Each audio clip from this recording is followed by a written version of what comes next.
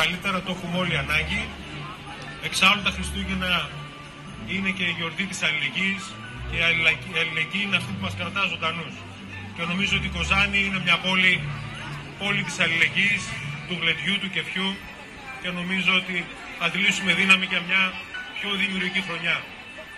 Εγώ εύχομαι να είστε όλοι καλά, να περάσετε καλά, να περάσετε καλά σήμερα αλλά και όλες τις γιορτές και το 2018 να είναι ένα, ένας χρόνος πολύ καλύτερος από τον προηγούμενο.